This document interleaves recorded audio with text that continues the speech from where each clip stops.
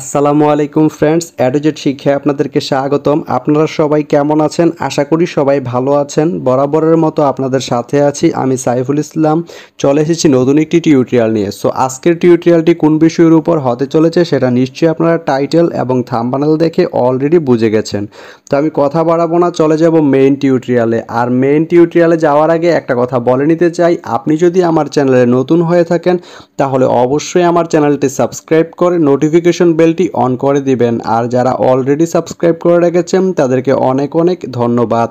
যারা আমার এই ভিডিওটি ফেসবুক থেকে দেখছেন, তারা আমার পেজটি ফলো করে সাথেই থাকবেন। তো চলুন চলে যাই মেইন টিউটোরিয়ালে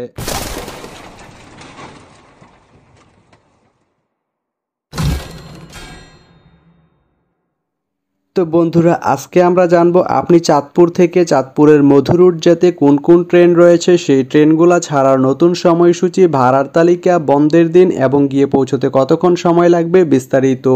তো আমি যদি আপনাদেরকে প্রথমেই ভাড়ার তালিকাটা দেখিয়ে দেই, আপনি চাঁদপুর থেকে চাঁদপুর মধুরুট যেতে শুভন নর্মাল যে সিট, এর মূল্য পড়বে পঞ্চান্ন টাকা। এবং বগির প্রথম সারির যে চেয়ার সিট বা ফার্স্ট সিট এর মূল্য পড়বে একশত চার টাকা। এখন আমি যদি আপনাদেরকে ট্রেনের সময়সূচিগুলো বলে দেই, আপনি চাঁদপুর থেকে মধুরুট যেতে প্রথমেই যে ট্রেনটি রয়েছে সেটি হচ্ছে মেঘনা। মেঘনা ট্রেনটি চাঁদপুর থেকে ছাড়বে ভোর পাঁচটায় এবং এটি মধুরুট গিয়ে পৌঁছবে ভোর পাঁচটা আঠারো মিনিটে। এই ট্রেনটির কোনো অফ ডে নেই। এরপরে রয়েছে সাগরিকা। সাগরিকা ট্রেনটি চাঁদপুর থেকে ছাড়বে দুপুর একটা পঁয়তাল্লিশ মিনিটে এবং এটি মধুরুট গিয়ে পৌঁছবে দুপুর দুইটা বারো মিনিটে। এই ট্রেনটির কোনো অফ ডে নেই। তো আপনি চাঁদপুর থেকে চাঁদপুরের যে মধুরুট রয়েছে, সেই মধুরুট যেতে এই দুইটি ট্রেনের যে কোনো একটি ট্রেন ব্যবহার করতে পারেন। তো ভিডিওটি কেমন লাগল অবশ্যই কমেন্ট করে জানাবেন।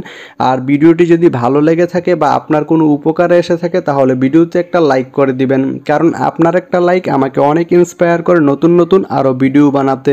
তো ধন্যবাদ সবাইকে। ভিডিওটি এতক্ষণ ধৈর্য ধরে দেখার জন্য ভালো থাকবেন, সুস্থ থাকবেন। অ্যাটুজেট শিক্ষার সঙ্গেই থাকবেন।